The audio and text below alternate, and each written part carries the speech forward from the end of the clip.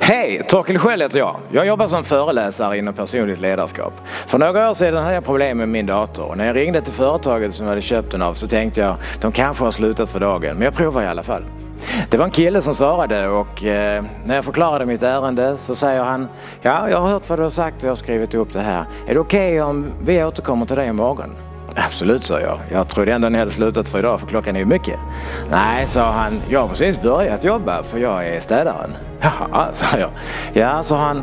För i det här företaget har vi en policy som säger att den som svarar i telefonen äger problemet.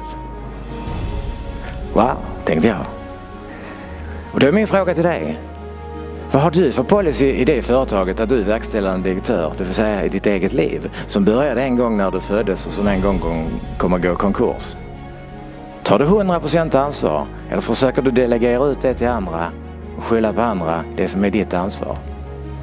För det är som Jim Rohn han sa, den amerikanska ledarskapsgurun. You can't hire someone else to do your push-ups. Ha det bra.